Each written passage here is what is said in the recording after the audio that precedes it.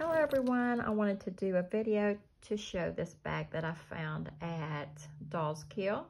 I thought it was a really cute. I have been watching Gilmore Girls for the hundredth time and we all know that Lorelai carries a um, Marc Jacobs bag. It's made a lot like this one. It has the pockets and this just kind of gave me that vibe and I thought it was really cute. I love the grommets and the grommets here. And then it has pockets on the end. The bottom of the bag has these. This is also really cute and you can take that off if you would want to, but I think it makes the bag really cute. And then it also has these little D-rings. The back of the bag has this little zip pocket. I think it would be perfect to put my phone in. The zipper is nice and smooth. No problems with unzipping it. This is the inside of the bag.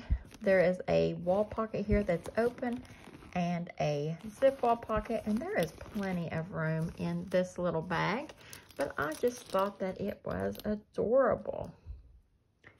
They should still have this bag on their site and if you like it you should definitely check it out. The next bag I want to show is by Kurtmen. I ordered this bag from their Hot Diggity Dog sale. Last year I purchased one from them as well. This is the bag. It's just all blinged out. In the picture that I saw, it looked like a bright gold. But once I got it, in person, it's more of a bronze, which that's totally fine with me. When I was little, my mother was always buying bronze bags, and they had these really big, gaudy stones on them. And so, and now that I'm older, I love it. I'm so glad that they had this bag. It also has small rhinestones, and then these studs are really pretty. They have stars on them.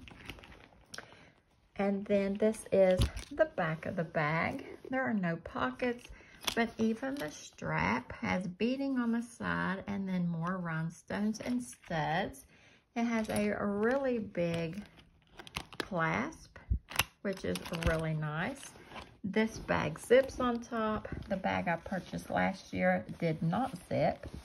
The inside of the bag also has stones on each side of their label. And here is a zip wall pocket. And that is the only pocket that is on the inside. I know it's hard to see down in there since it is black. And then they have a really nice brown leather right here. But I was excited that this bag actually zips because like I say, the one I got last year just snaps.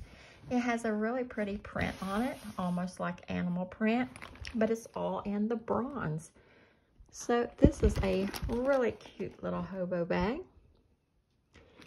It seems to be very nice quality and really nice leather. And then the one from Dolls Kill is just a really cute bag. It is faux leather. You can take it out in the weather and whatever. And I'm really glad that it zips on top. So these bags are just totally different, but both are really cute. Thanks for watching. Bye.